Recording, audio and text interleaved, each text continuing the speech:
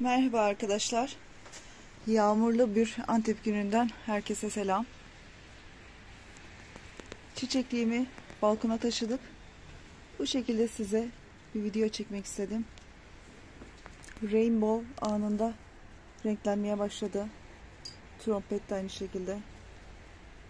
İstedikleri soğuk. İçeride maalesef yeşile doğru dönmüşlerdi artık. Ziraydon bu hafta boyunca yok. Bu nedenle artık balkona aldım. Umarım başka ziraydonlar olmaz. Şu şekilde size göstereyim.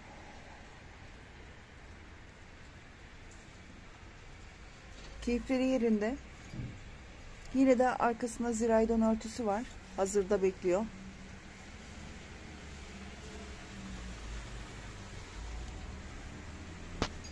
Hava durumunu takip ederek Ziraydon haritasını takip ederek bu şekilde kontrol ediyoruz. Şöyle göstereyim size. Türkiye genelinde ziraydonlar azaldı. Umarım bahara kadar başka ziraydon görmeyiz. Çünkü içeriye aldığımızda anında renkleri değişti. Yeşile dönmeye başladılar. Çiçeklenmeye başlıyor. Baharda olduklarını zannediyorlar. Formları bozuluyor. Ama burada hemen kendilerine geldiler.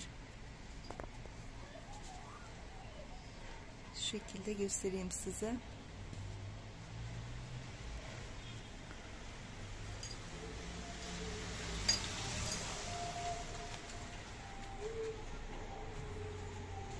Burada renklenmeye başladılar bakın.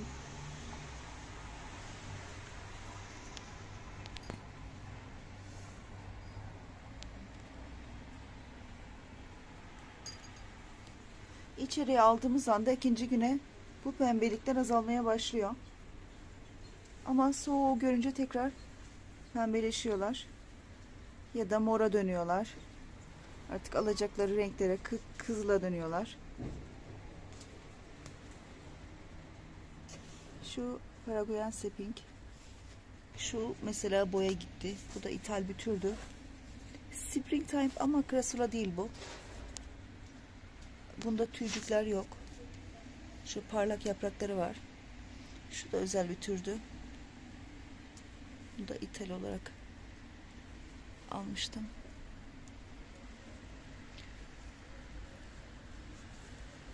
Palmeri hala çiçekte. Her zamanki gibi. Şöyle renkler ortaya çıkmaya başladı.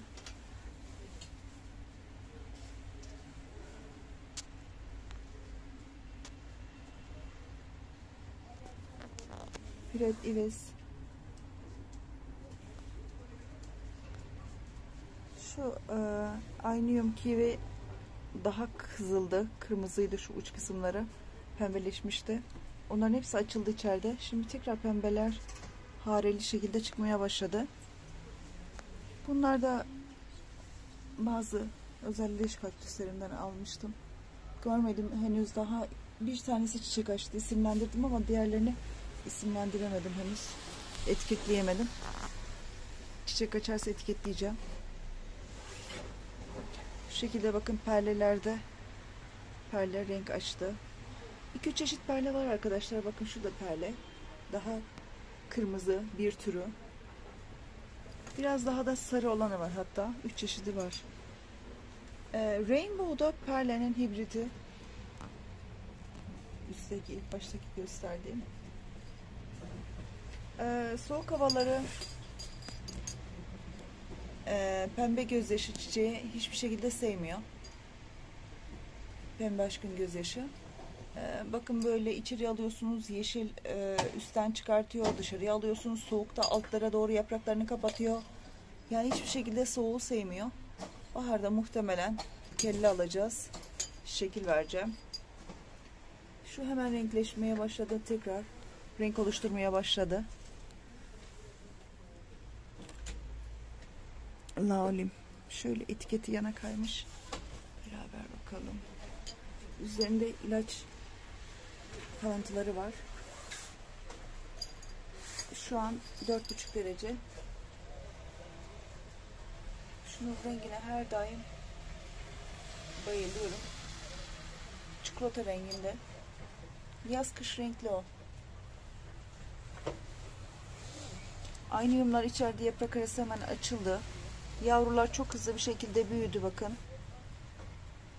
Aynı yum soğuğu seviyor. Sıcağı sevmiyor. Şu beraber diktiğimiz tesbih çiçeği daha yeni dikmiştik. 15 gün kadar oldu. Videosunu çekmiştim. Bakın şöyle yakından göstereyim size.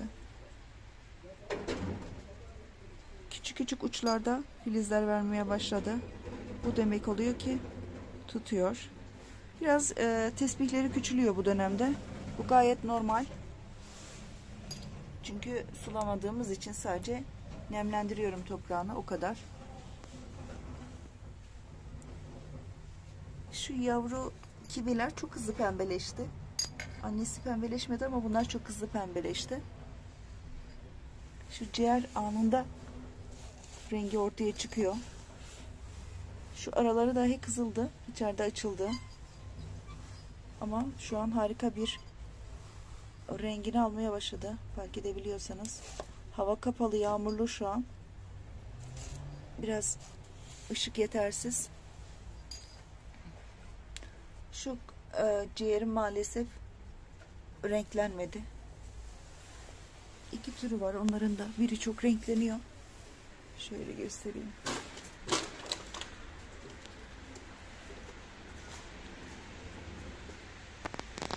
Şu da perlenin hibriti. Bunun yaprağını yatırdığımız zaman perle olarak çıkıyor. Çok istisnai oluyor bunlarda. Kendi orijinal, yani hibrit hallerine dönüşmesi istisnai oluyor. Ancak kelle alarak orijinalliğini koruyabiliyorlar. Baharda kelle alacağım inşallah. O zaman çoğaltmaya deneyeceğim. Yoksa yapraklarında yatırdıklarım var ama yaprakları muhtemelen perle verecek. Özel bir tür. Şunda trompetinde şu an e, yaprakları yeni yeni kök vermeye başladı. Umarım bahara bebekleri gelişecek. Bu şekilde arkadaşlar.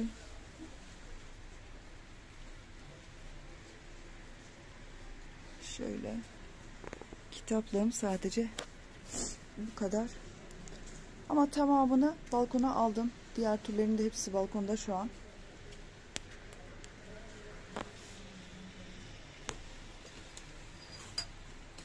Karamel. Evet, burada da karamel var. Karamel. Karamel bak. Karamel.